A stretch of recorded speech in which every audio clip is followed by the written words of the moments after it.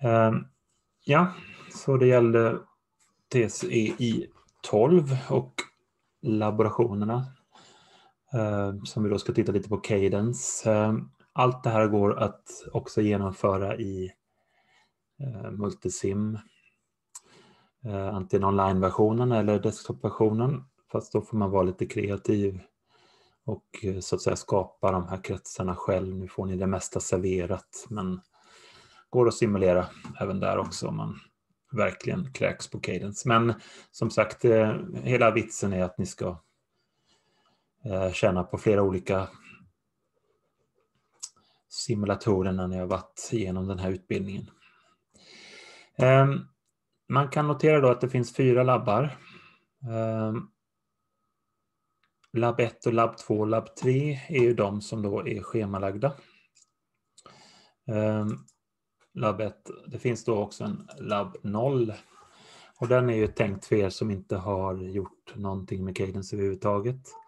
Så har man läst digitala kretsar så har man ju möjlighet eh, att titta i någon gammal manual där säkert. Och ni kör även i Daisy-flödet i digitala kretsar så ni kommer känna igen med ungefär samma startkommandon och sånt där. Ehm, vi ska göra tre stycken labbar.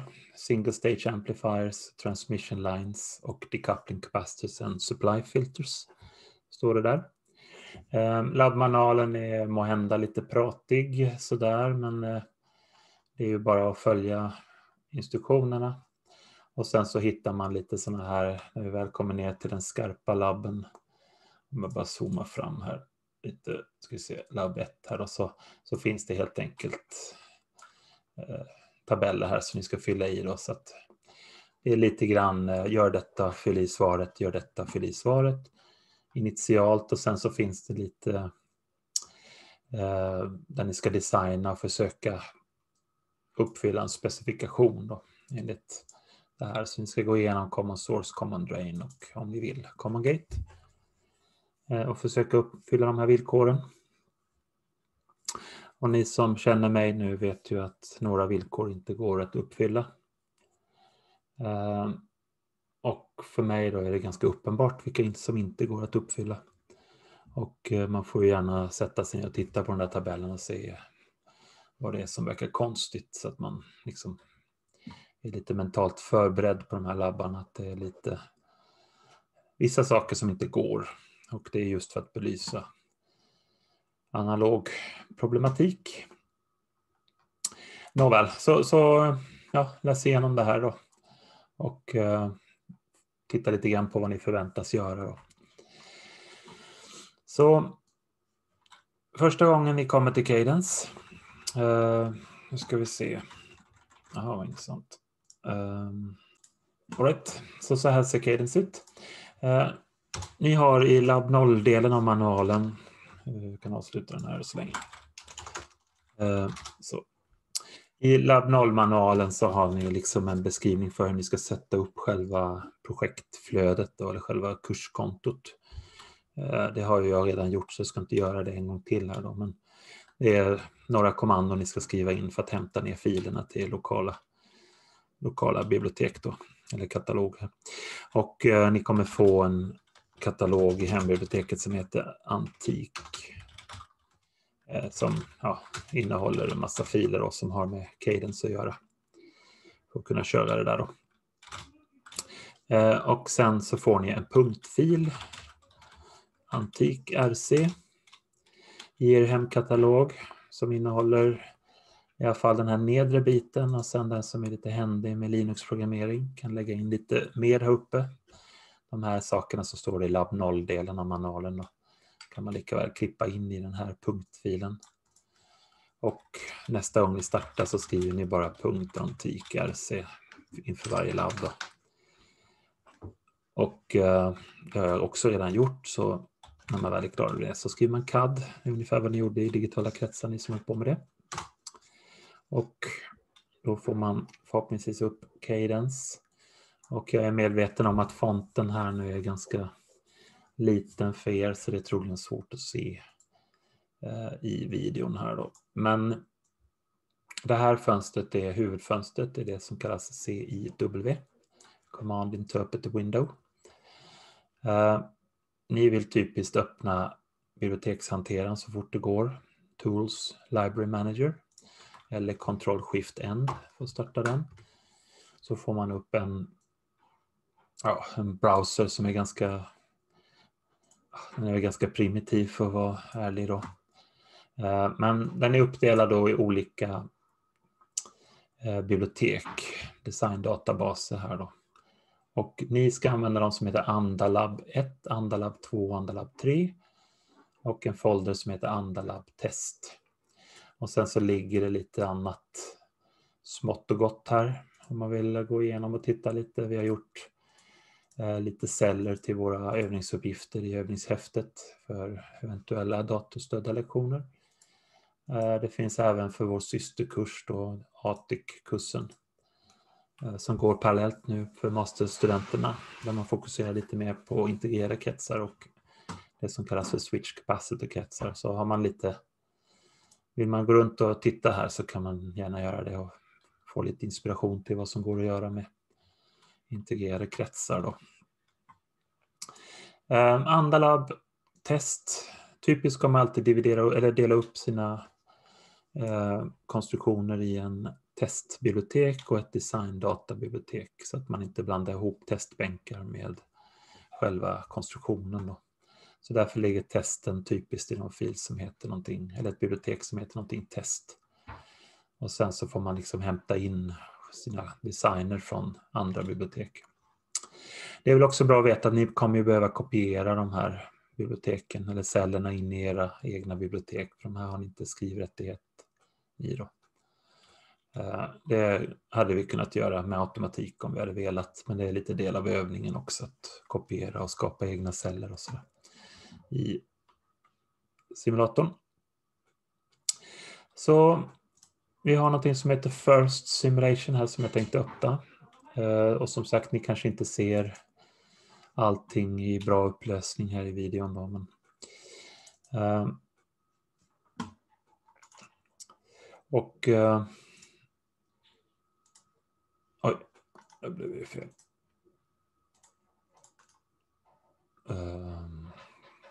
Så. Right. Här då har jag tagit en Common Source-förstärkare. Vi kan se om vi ska zooma lite mer här så att det syns tydligare. Så eh, här har jag gjort en subcell, det kommer ni få öva också i labb 0. Att man gör en symbol för en cell och inuti den här symbolen kan man då ha, eh, göra mer komplexa kretsar så att man skapar sig en hierarki. Då. Eh, jag har lite olika källor här som skapar insignaler och matningsspänningar. Så här har jag en DC-källa. Eh, och sen har jag en global jord och en global VDD. Då. Eh, och sen så har jag även en variabel VCCR12 som jag kommer plocka upp med hjälp av simulatorn sen. Eh, jag kan trycka Q på den här för att få upp properties, egenskaper för min spänningskälla. Och så finns det massor att fylla i här. Jag vill ju ha en DC-spänning på en, eller ja, på en variabel då, så jag har skrivit in variabelnamnet här, VCCR12 rakt av. Uh, sen sätter jag den senare. Uh, jag har en insignal som kommer vara en puls på något sätt. Jag kan trycka Q på den där också så ser ni att det ja, finns mycket olika inställningsmöjligheter här. Då. Så den här har en period på 10 mikrosekunder, det vill säga 100 kHz blir det väl då. Ehm, och eh, ja, man kan parametrisera allting i princip här då. Eh, spänningar och DC-nivåer och eh, AC-nivåer om man vill köra en frekvensanalys och så. Ehm, och den här är färdig för er, den här kretsen är bara att öppna och titta på. Ehm, jag har klippt in en RC-länk här mellan insignal och gate på vår common source. Den innehåller, jag kan hoppa in i den och titta i den symbolen. Består den alltså av en resistans och kapacitanskoppling på det här viset. Och det här gör jag bara för att skapa lite bättre förutsättningar för simulatorn. Så jag slöar ner om jag får in från den här pulskällan en lite väl ideal ja, stegfunktion då, så kommer den här RC-kurvan att smeta ut den lite grann. Då. Eller RC-kretsen, förlåt, smeta ut den där kurvan lite grann. Och eh, ja, simulatorn mår bättre av det helt enkelt. Den tycker inte om när det är en massa snabba förlopp som diskontinuiteter då, som den ska behöva lösa. Så att det här är ganska, eh, ja, hjälper till helt enkelt. Eh, alltid kapacitiv last och jag eh, har nästan alltid uteslutande variabler på allting jag lägger in. Bara för att få ut så mycket som möjligt i simulatorn strax då, när vi kan börja förändra värden på komponenter och sådär. Eh, på ett dynamiskt sätt. Då. Okej, här är en common source. Jag kan hoppa in och titta hur den ser ut. Shift E, kortkommandot. Finns förstås allting i stötta och menyer också som man kan grafiskt gå in och hämta. Så där, okej, okay, det visar sig vara en common source med passiv last. Då. Ehm, så en transistor här, men där kan vi trycka Q på också. Ja,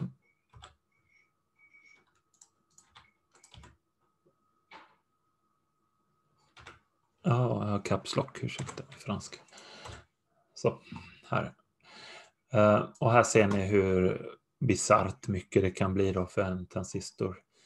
Så vi har massor med olika parametrar som bestämmer transistorns parasitiska egenskaper och sånt här. Då. Men, men typiskt så är det kanallängd och bredd på transistorn som vi behöver variera.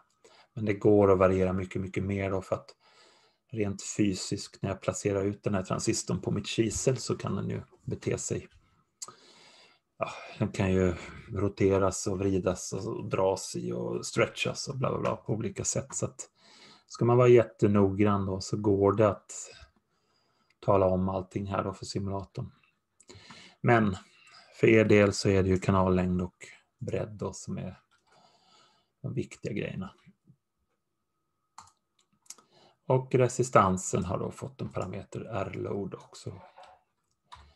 Sådär, så en väldigt enkel konstruktion som består av en enda transistor i det här fallet. Eh, jag kan hoppa ut, Ctrl E, Ser lite grann hur det ser ut här ute. Eh, den här källan gör väl ingen nytta, låt den ligga kvar så länge. Eh, andra tips är förstås att namnge så mycket som möjligt gärna namnge källor också. Den hette V0 här, det gillar inte jag riktigt. V-input till exempel. Eh, så att det är lätt att hitta cellerna sen när man går igenom sina nät om man behöver debugga till exempel. All right. Ehm, sen står det instruktioner hur man startar simulatorn och då finns det en launch här uppe till vänster som ni troligen inte ser. Ehm, ADEL ska vi starta. Och då får man upp själva simulatormiljön. Ehm, och ja, jag ska se om vi kan lägga dem bredvid varandra på ett bra sätt här. Så att ni fortfarande ser. Just sådär. All right. Eh, och då finns det, i just det här fallet finns det variabler lagrade då i simulatorn eller i cellen här då. Eh, om man inte har de här variablerna så kan man gå in på session och load state när man hämtar en gammal inställning som man förhoppningsvis har sparat någonstans. Här fanns det tre stycken, First Setup och Spectre Demo och lite sånt där. Ska se vad det finns där. Jag laddade First Demo och eh, då visar sig att den har en DC-analys. Vi får väl eh, zooma om det behövs AC-analys, transientanalys här då. Eh, transientanalys är tidsegenskaper, AC-analys är frekvensegenskaper och DC-analys är ju då storsignal, arbetspunkten som vi började föreläsningen med. Sådär. Och eh, sen finns det sätt att skapa snygga fina formler här. DC-gain, omega-UG, fasmarginal och annat räknar jag ut här. Och de här finns det stöd för. Det finns en kalkylator uh, som uh, ja, har en massa funktioner då inbyggda här nere. Eh, du kan även skriva egna funktioner med ett programmeringsspråk som heter Lisp förlåt, ja, Lisp är det ju, men skill heter det i Cadence. Eh, som är någon slags utökad version av Lisp. Parentesbaserade språket, höll jag på att säga. Eh, och så kan man mata in då det man vill räkna ut helt enkelt.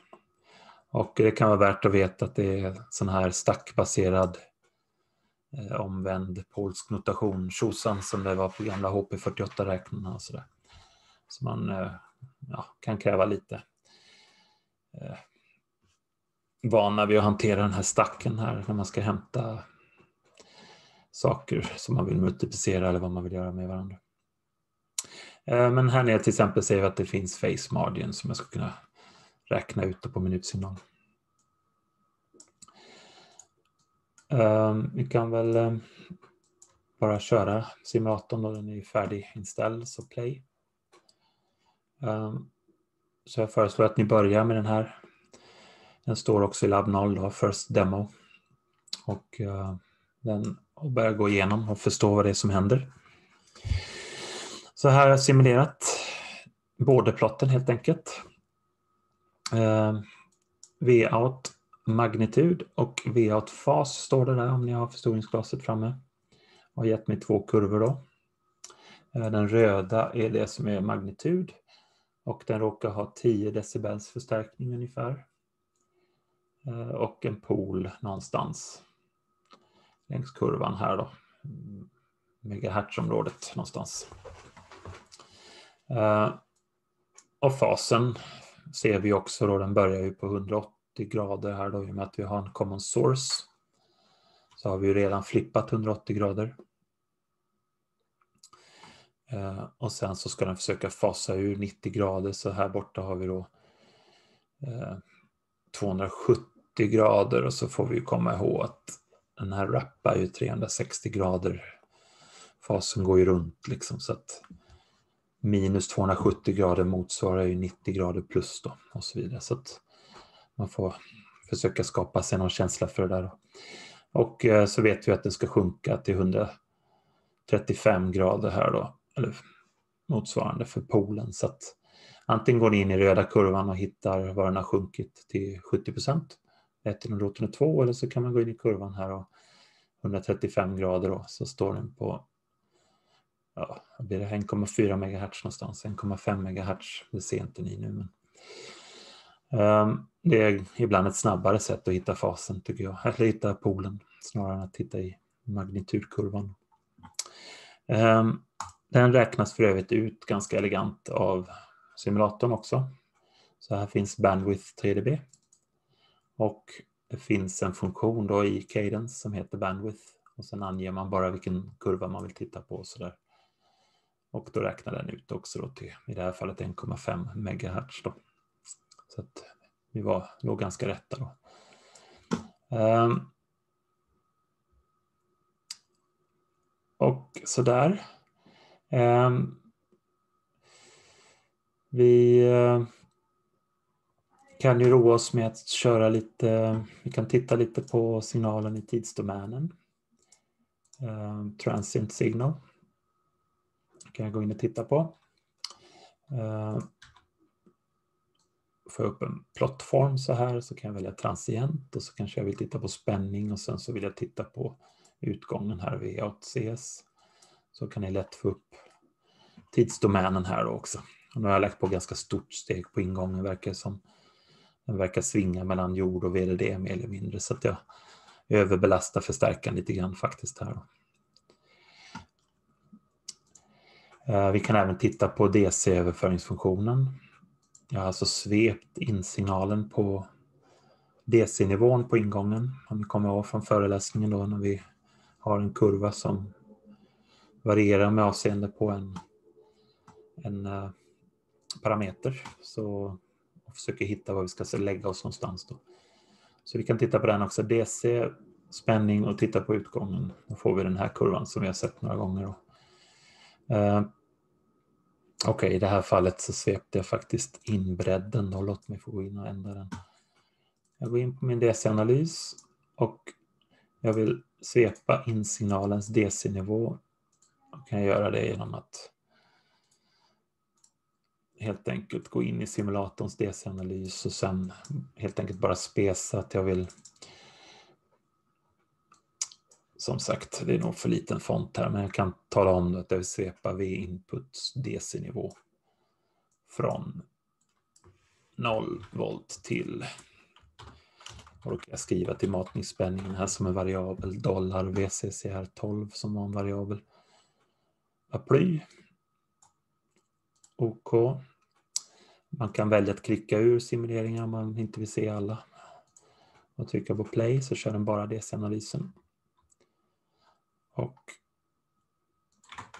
så kan jag då rita om den här kurvan. Och då känner vi igen det här från, från föreläsningarna. Då. Att vi har en, ni kommer att här uppe i 1,2 volt. Då har vi stängt av transistorn. Och eh, nu har det blivit loggskala här nere. Ska vi ändra den kanske? Linjär skala istället. Så. All right. Så här uppe har vi 1,2 volt. Vi har alltså stängt av transistorn och resistorn gör pull-up.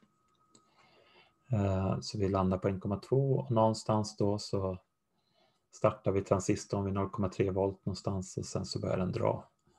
Och sen till slut går den över linjära området då och bottnar här. Så småsignalmässigt eller storsignalmässigt så verkar det som vi borde ligga här någonstans. I mitten här ungefär. Så vi har ganska snäll kurva i det här fallet och det är för att vi har en resistiv last som är ja, av ondo helt enkelt. Vi får inte ut så mycket förstärkning ur kretsen. Det kommer ni se sen då när ni levlar upp i labban, labb 1 och gör en sån här stackad kaskodförstärkare. Då. Eh, ligger också i Library Managern här så har ni en Cascodes grej här också.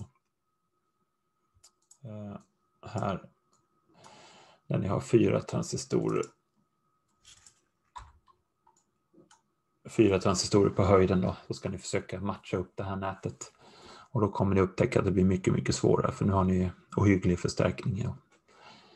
Så får man ju tänka, har jag en förstärkning på 10 000 gånger då räcker det ju att jag ändrar min inspänning med någon mikrovolt bara så slår det ju en volt på utgången. Då.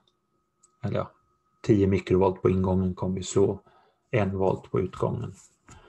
Och så har ni bara 1,2 volt tillgängligt. Så att då måste man vara väldigt, väldigt noggrann i sina parametriska svep då som man gör när man vill variera och undersöka något. Så vi klickar bort den där och sen så säger vi att ja, men jag har två parametrar nu jag vill ändra. Dels vill jag bestämma vilken DC-nivå jag vill lägga på ingången. Men jag vill också ändra W, input width, på min transistor för att undersöka förstärkningen till exempel. Ehm, och då finns det en ganska eh, smidig lösning i Cadence som heter parametersvep. Och eh, ska jag lyckas hitta mitt fönster bara, där var du. Så, så att, säga att jag har flera variabler jag vill svepa för att försöka dimensionera upp min förstärkare. Ehm, och ja, den kan få ligga kvar. Ehm, då finns det parametric analysis under tools och här då får man spesa upp det man vill variera. Så att, då kan jag ta input width här till exempel, som är transistorns bredd. Och så kan jag svepa den från 2 ukro till 200 ukro eller något för att ta i ordentligt.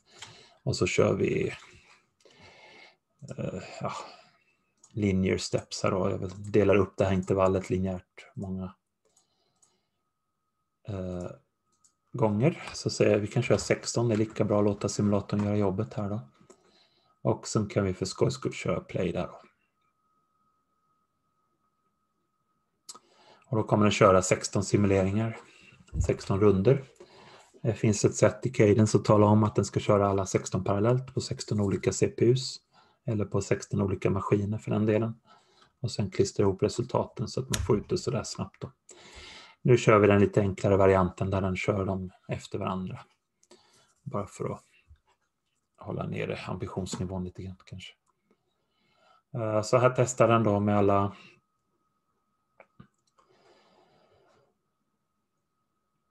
Sexton fall, hoppas jag. Och sen så får vi då upp ja, en massa kurvor helt enkelt, där den har svept inbredd. Då. Så vi kan till exempel titta på magnitud för skojs skull. Vi tar bort de här grejerna. Eh, så.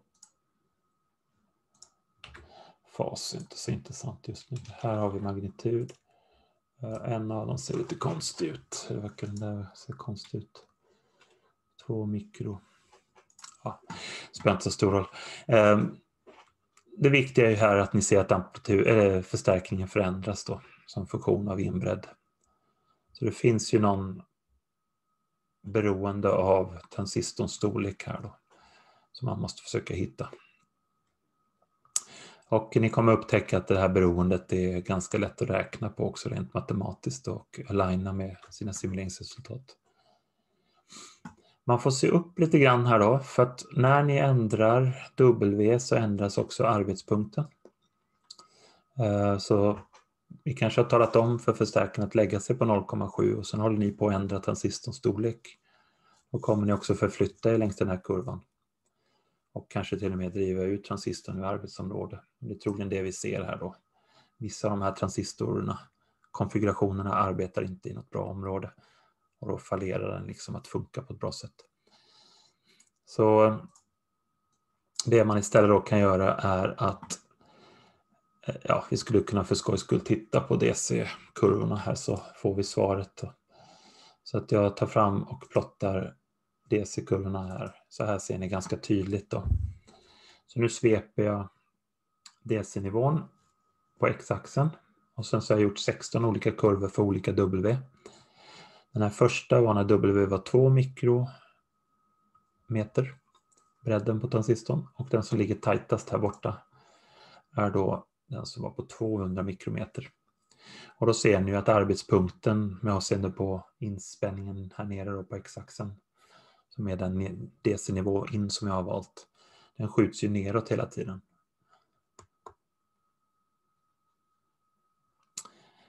Så att om ni har valt liksom 0,7 som jag sa här då, första kurvan här kanske med 2 mikro. Och så har vi fixerat 0,7 på ingången. Då är det ganska stor skillnad, för här har vi ju någon slags förstärkning. Men om jag motsvarar, tar för någon av de andra kurvorna är för 0,7, då är vi ju nere här och jobbar i linjära området. Då. Så att någonting går ju snett här. Så vi måste ha en konstruktion som följer efter med DC-spänningen och arbetspunkten. Så Ändrar ni W, då måste ni också minska inspänningen då, för att följa efter och lägga er i rätt arbetspunkt. Ni tittar på lutningen här också så ser ni ju att ju större W jag tar, desto högre lutning får jag också. Så att det är någonting som händer med förstärkningen också i er krets. GM blir bättre och bättre. GM gånger RL. RL är konstant. Men ni ändrar drivförmågan hos transistorn då, så att det blir bättre och bättre förstärkning. Om ni bara ser till att hålla efter med DC-spänningen.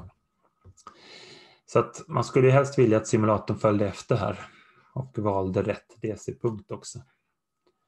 Eh, och det går att göra i simulatorn. Eh, det är lite svårt för mig precis just nu. Eh, men vad man skulle kunna göra till exempel är att vi bara sparar arbetspunkten här. Och sen så går man till sitt parametersvep. Den här analysen är, den är svept input width. Och sen så kan vi också då lägga till att även svepa V in DC här då. Från säg 0,2 volt till 0,8 volt. Och ska vi se, nu ska vi hålla ner eh, körtiderna lite här. Säg att vi kör den 5 och den 5 steg så. Så då kommer jag alltså köra 25 simuleringar där vi varierar både inbredd och VIN DC, då, DC-nivån så att jag ska hamna, försöka följa efter och hitta vilken kombination av par som ger mig den bästa förstärkningen här då på något sätt.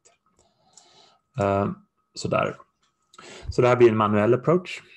Men Cadence har då en, ett support för att också hitta de här punkterna, optimera fram dem helt enkelt. Eh, det blir lite för mycket i den här demon att göra det, men bara så att ni vet att det går om man vill, om man vill ta en extra kopp kaffe och testa så går det utmärkt att göra det. Då. Vi ska se här vad vi får fram. Eh, uh, kan ta fram sådär så får väl det bli det sista för dagen.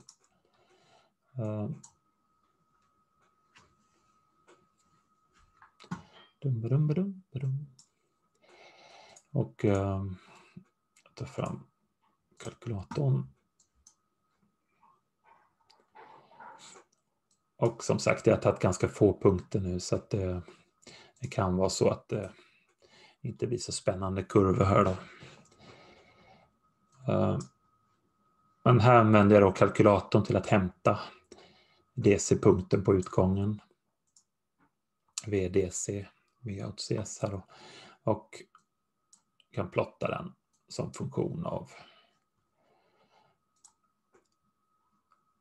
VNDC och på samma gång har jag svept också eh, inputbredd. Då. Så då har jag en möjlighet att välja par som ger mig bra värden. Då. Så att tidigare så hamnade jag ju fel. Liksom. Nu, nu kan jag hitta kombinationen av paren i de här kurvorna. Eh, så blå kurva, ja, då ser inte ni här då, men när jag klickar här så får jag upp information om vilken DC-punkt jag bör välja och vilken bredd jag bör ha på min transistor. Då. Och så vidare och så vidare. Då kan ni lägga till fler parametersvep som ni vill svepa över här. Då. Så det där kan vara bra att göra då i labb 1 när ni ska försöka hitta storlekar på de här stackade transistorerna. Och ni kommer definitivt jobba med den här sen i labb 2 och labb 3 för den delen. Som ganska kraftfulla verktyg. Alright. Um, ehm, så egentligen bara en quick överblick över Cadence. Uh, starta upp skript så ni kommer ihåg det, får den här punktfilen som ska sourcas och sen så exekverar ni eller startar Cadence med CAD.